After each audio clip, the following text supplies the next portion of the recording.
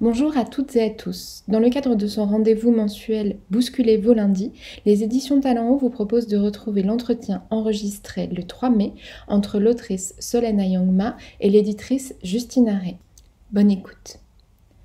Bonjour à tous et à toutes, je suis Justine Arré, éditrice des éditions Talent Haut, et j'ai le plaisir de m'entretenir aujourd'hui avec Solène Ayangma, autrice. Solène Ayangma est l'autrice d'un premier roman publié aux éditions Talent Haut et intitulé Pierre Eustache. Pierre Eustache était un roman euh, paru dans la collection Zazou, donc qui s'adressait plutôt aux enfants de 8 à 12 ans. Et elle nous revient aujourd'hui avec un roman de science-fiction pour adolescents intitulé Les Immémorants.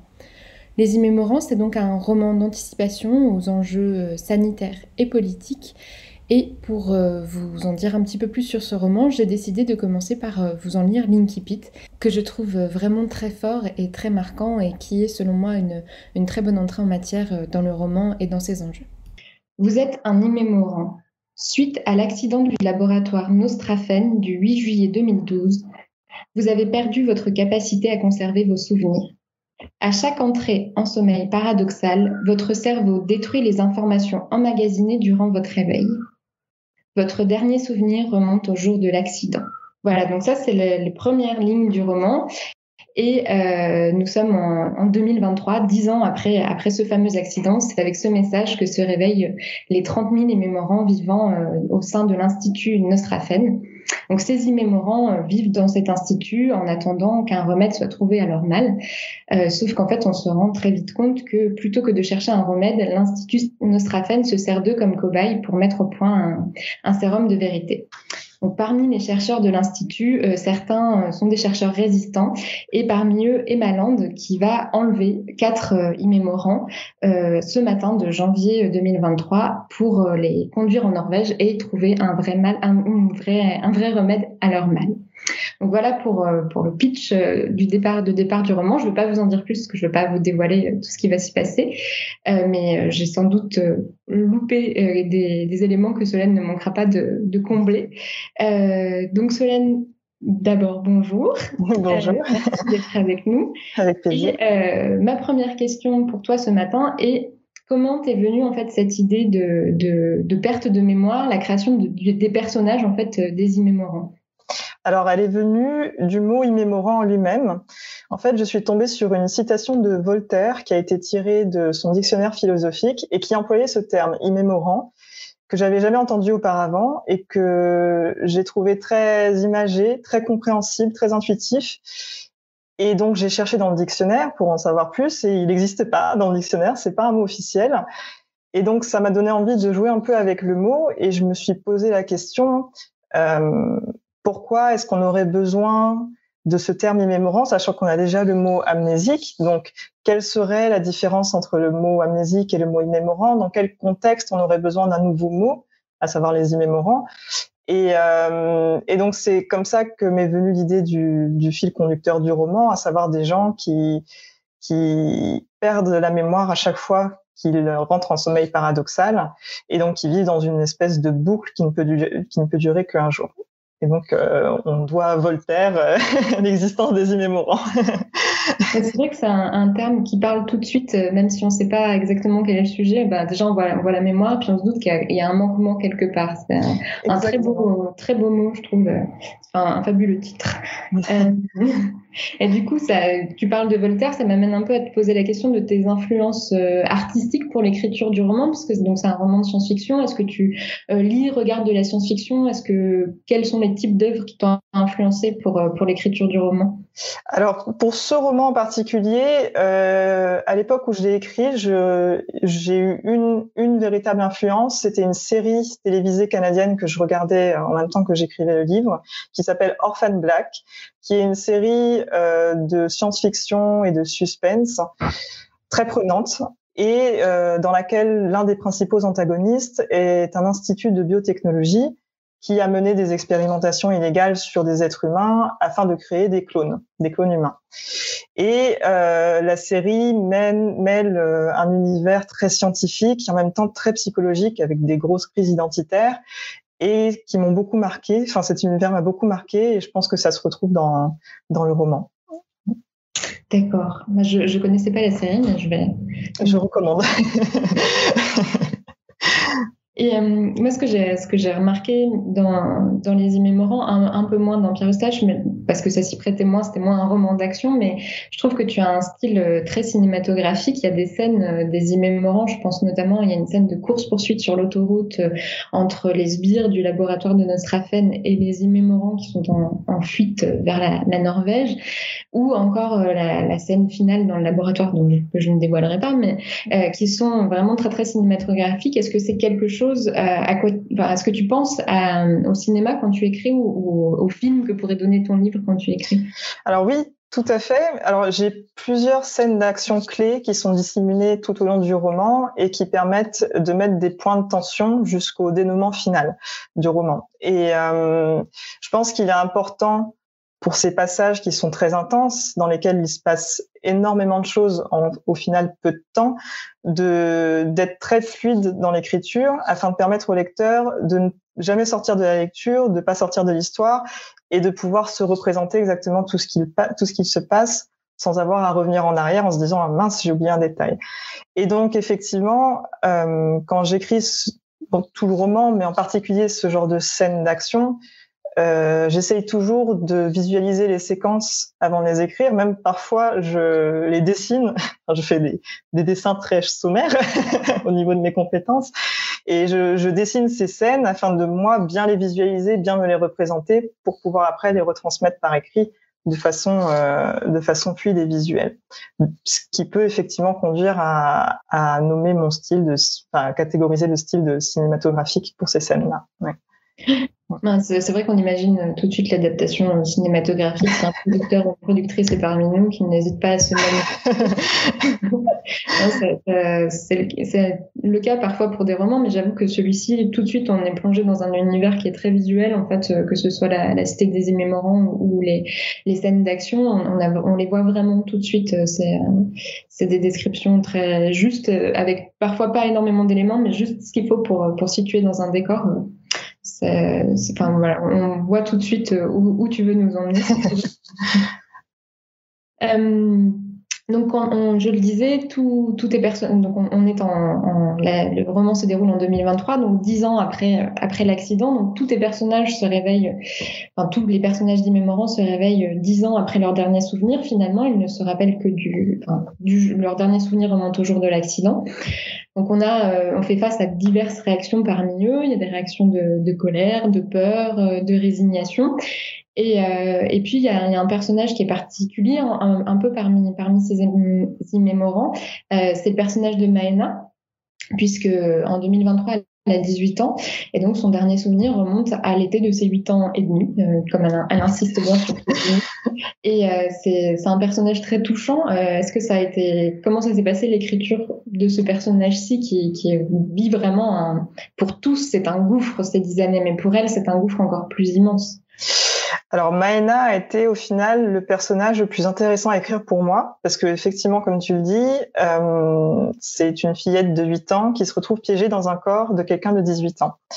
Et il y a un vrai déséquilibre entre ce qu'elle projette au monde extérieur et comment elle se sent à l'intérieur qui elle est réellement. Et donc c'est un déséquilibre qui va se ressentir dans tous les aspects, euh, à tous les niveaux. Donc, par exemple, ses compagnons d'infortune vont toujours devoir euh, se rappeler qu'elle a 8 ans et donc agir en conséquence, lui parler en conséquence. Et euh, ils vont être un peu surpris, par exemple, de voir euh, une jeune fille de 18 ans courir dans les couloirs parce qu'elle veut jouer à cache-cache. Il, y a, il y a un déséquilibre dans son comportement par rapport à ce qu'on attend d'une personne qui a l'apparence de quelqu'un, d'une jeune adulte. Et surtout, il y a un déséquilibre physique donc à savoir qu'effectivement, Maëna euh, s'est couchée un jour euh, dans, dans le corps d'une enfant de 8 ans et elle s'est réveillée le lendemain dans le corps d'une enfant de 18 ans. Et donc pour elle, tous ces changements se sont passés en une nuit. Et ça a été un vrai défi pour moi euh, d'écrire ce personnage. Et en même temps, ça a été super super intéressant et très amusant parce que euh, eh ben, il a fallu que je me pose des questions, que je me dise mais quels ont été les impacts euh, euh moteurs sur euh, sur sa motricité par exemple parce que son cerveau au final euh, se souvient de ces, des, des, des réflexes qu'il a accumulés en huit ans de vie. Et là il se retrouve à contrôler un corps qu'il ne connaît pas. Et donc quels sont les impacts sur ce corps sur la façon dont Maena va bouger, réagir? Et euh, il y a aussi beaucoup d'incompréhension pour elle, qui va faire face, elle va faire face à des changements qui pour certains vont être traumatiques, pour d'autres elle va les trouver drôles. Et donc pour moi ça a été vraiment euh, de me mettre dans la peau de cette fillette et qui doit faire face à tous ces changements, ça a été euh, difficile mais très très intéressant d'un point de vue euh, d'exploration psychologique. Et, euh, et par exemple, euh, il y a une scène où Maëna, pour la première fois, se regarde dans un miroir et, euh, et elle voit, elle, ce qu'elle se dit, c'est qu'il y a une méchante adulte qui est derrière la glace et qui est en train d'imiter ses gestes. Parce qu'en fait, elle, est incapable de se reconnaître et de faire le lien entre, entre ce, cette personne en face d'elle et qui elle est réellement. Et euh, donc, ça a été un vrai défi, mais, mais très, très intéressant. Et Maëna euh, est un personnage que j'aime, j'aime beaucoup, particulièrement dans le roman. Oui, elle est, à la fois très touchante et elle a cette, cette force en elle, mais, mais ce qui fait d'ailleurs qu'elle est, sélectionnée parmi les, immémorants qui s'échappent. Hein. Mais elle, ne renonce pas, elle ne s'apitoie pas sur ce qui lui arrive. Il y, a, une phrase aussi à un moment où tu dis, euh, elle a découvert tous ces changements. C'est, juste après qu'elle ait eu ses premières règles. Et tout ça, en fait, euh, au lieu de se dérouler sur plusieurs années, c'est en, une semaine, voire deux pour elle, une fois qu'elle a retrouvé ses souvenirs. Donc c'est, très violent et, et elle y fait face quand même avec avec euh, avec un quand même une, certaine allégresse euh, finalement euh, elle arrive à, se relever de ça à le prendre parfois difficilement mais à le transformer en quelque chose de positif pour la suite c'est un, un, personnage très très lumineux tout au long du roman oui. d'ailleurs ça, ça m'amène à ma dernière question. Euh, parmi les, les cinq personnages que immémorants que l'on suit du début à la fin, moi je me suis beaucoup attachée à, deux personnages, euh, notamment à tous, mais il y a deux personnages qui, m'ont fait me dire j'aimerais bien euh, avoir leur réaction. C'est Run et, et, Colette. Donc Run qui a la sagesse et le recul, et Colette qui a une, force, une violence aussi, mais, mais, mais beaucoup de force et qui est prête à affronter ce qui va lui arriver. Toi, est-ce que en dehors de, de Maëna dont nous venons de parler, est-ce qu'il y a un personnage qui, t'inspire plus, qui te ressemble plus, ou, à qui tu aimerais ressembler euh, Alors, il y a donc au final, dans le roman, il y a huit personnages principaux, dont l'antagoniste principal, qui est un vrai psychopathe, donc lui ne m'inspire pas particulièrement. Mais euh, donc parmi ces euh, sept autres personnages, c'est vrai qu'ils sont tous inspirants à leur manière parce qu'ils ont tous leurs forces et leurs faiblesses. Et donc, par exemple, comme tu dis, on a Reine et Colette qui vont être euh, très forts et capables de garder leur sang-froid dans des situations de stress intense et, euh, qui vont réussir à, se mettre en mouvement face à la pression, face au danger et qui vont réussir à sortir un peu le petit groupe des situations euh, très périlleuses. On a d'autres personnages qui eux vont gérer le stress et prendre la situation avec beaucoup d'humour et beaucoup de désinvolture. Donc je pense à au personnage de Jason et de et d'Alphonse, ils sont euh, toujours un petit peu décalés et qui qui arrivent du coup à gérer le stress et aussi à, à soulager un peu les, les, autres membres du groupe de tout ce stress qui s'accumule au fil des semaines grâce à leur humour. Et euh, on a d'autres personnages qui eux sont incapables de gérer leur stress, sont incapables de garder leur sang-froid et qui vont s'écrouler, mais parfois au pire moment possible, mais qui pourtant vont se relever et vont se battre parce qu'ils savent qu'ils se battent pour la bonne cause et ils vont se battre de toute leur force, même si c'est pas nécessairement de la bonne façon. Et euh, ce qui les rend humains et ce qui les rend inspirants aussi. Et donc, euh, je pense que je je m'identifie un petit peu à, à, un peu tous mes personnages d'une certaine façon. Et j'aimerais aussi m'identifier à tous mes personnages dans la façon dont, ils, dont certains réagissent euh, à cette situation sous pression.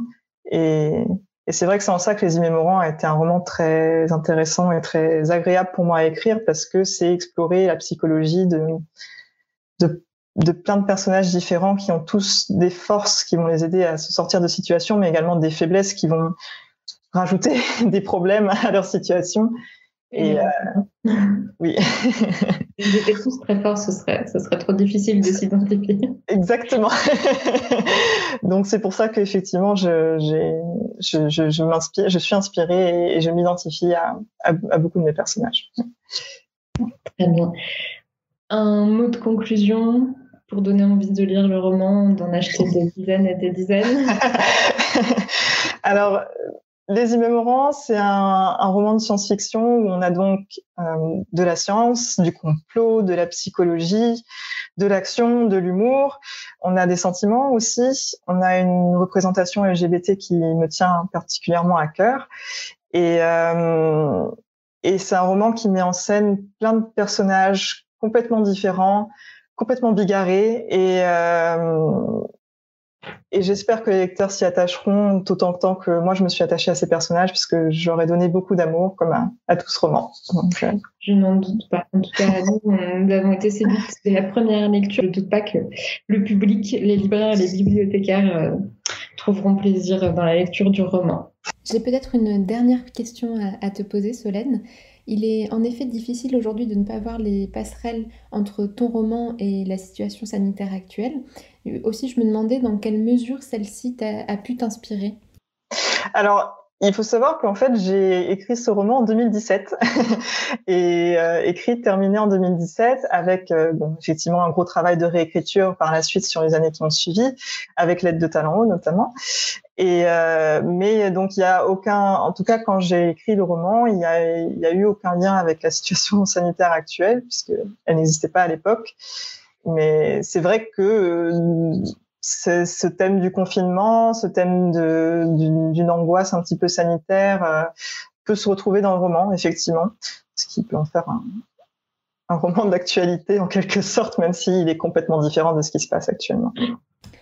Merci encore Solène d'avoir répondu à mes questions ce matin. Euh, je rappelle que ton roman s'intitule Les Immémorants, qu'il sort en librairie le 17 juin et que nos auditeurs et nos auditrices pourront se le procurer dès lors. Merci d'avoir été à notre écoute et à très bientôt pour un nouveau Bousculez vos lundis des éditions Talent.